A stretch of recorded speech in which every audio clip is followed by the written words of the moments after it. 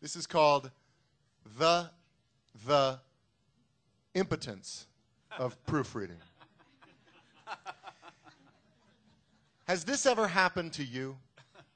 You work very, very hard on a paper for English class and still get a very low rate on it, like a D or even a D equals. And all because you are the liverwurst spoiler in the whale wide word. Yes, proofreading your peppers is a matter of the, the utmost impotence. Now, this is a problem that affects manly, manly students all over the word. I myself was such a bed spiller once upon a term that my English torturer in my sophomoric year, Mrs. Myth, she said that I was never going to get into a good colleague. And that's all I wanted. That's all any kid wants at that age, just to get into a good colleague. And not just anal community colleague either, because I am not the kind of guy who would be happy at just anal community colleague. I need to be challenged. Challenged menstrually. I need a place that can offer me intellectual simulation. So I know this probably makes me sound like a stereo, but I really felt that I could get into an ivory legal colleague. So if I did not improvement, then gone would be my dream of going to Harvard, jail, or prison.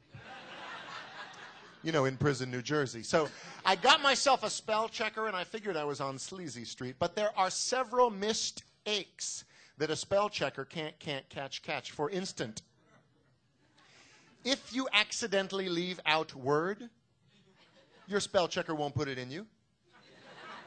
And God, for billing purposes only, you should have serial problems with Tori Spelling. Your spell check off may end up using a word that you had absolutely no detention of using because, I mean, what do you want it to douche? You know? No, it only does what you tell it to douche. You're the one who's sitting in front of the computer screen with your hand on the mouth going clit, clit, clit. Just goes to show you how embargo one careless little clit of the mouth can be, which reminds me of this one time during my junior mint. The teacher took the paper that I had written on a sale of two titties. And she, no, I'm serial. I am serial. She read it out loud in front of all of my assmates. It was quite possibly one of the most humidifying experiences I have ever had being laughed at like that pubically.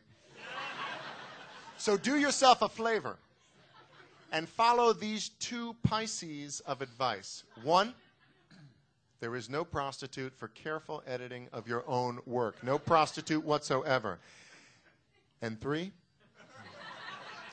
when it comes to proofreading, the red penis, your friend. Spank you.